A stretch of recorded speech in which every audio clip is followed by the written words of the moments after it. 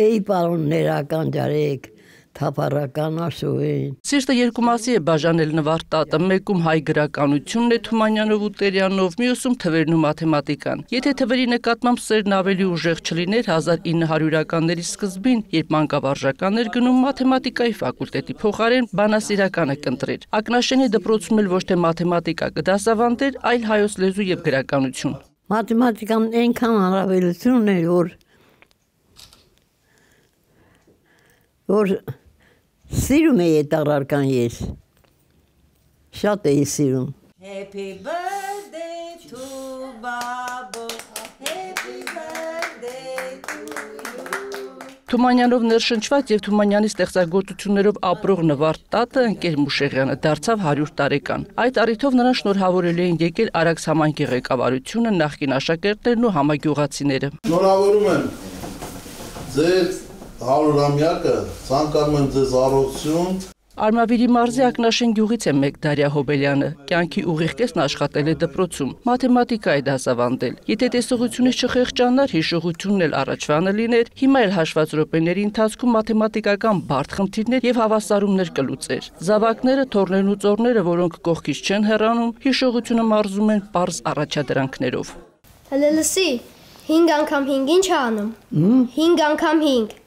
25, Բա 7 անգամ 8 ինչ է անում։ 7 անգամ 8։ 56։ Խստապահանջ ուսուցչուհի է եղել ընկեր Մուշեղյանը, նաև լավ ընկեր աշակերտների համար։ Ակնաշենի նախկին գյուղապետը, որը նաև նրա դպրոցն է անցել, բարձր առաջադիմության է հասել ուսուցչուհու հետևողականության շնորհիվ։ Ես դպրոցում ոնց եմ սովորել։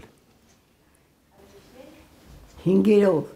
Դուստրերից Մելանյան, որը նույնպես իր սաներից էր, մայրիկի ուսուցչությունը երբեք չի շահարկել, որ մայրը դպրոցում գլուխը բարձր քայլեր, օրինակելի վարք է դրսևորել եւ դասերի գնացել միշտ պատրաստ։ Ընկեր Մուշեղյանը եւս հավասար աչքով է նայել աշակերտներին եւ այնքան մատչելի է թեման բացատրել, որ դասից շեղվելու այլ ընտրանք չի թողել։ Զուր լսում, լսում էին դասերը։ Նուրբ դիմագծերով շիկահեր ու կապուտաչա ընկեր Մուշեղյանը երիտասարդ տարիներին շատերին է գերել իր գեղեցկությամբ։ Զարդերի հետ առանձնապես սեր չի ունեցել։ Միակ բանը, որից միջև հիմա չի բաժանվում, ամուսնական մատանին է։ Քանի դեռ տեսողությունը տեղներ կարողանում էր դուրս ու ներս անել, շփվել համագյուղացիների հետ, հետևել երիտասարդ աղջիկների վարք ու բարքին։ Հավանում է նրանց։ Մեր երիտասարդները շատ լավ են ապրում։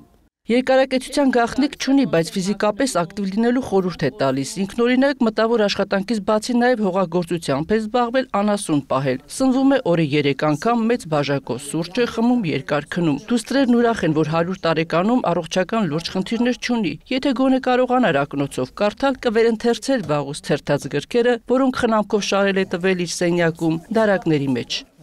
Հայկուշ Ասլանյան, Հայկ Պետրոսյան, լուրեր։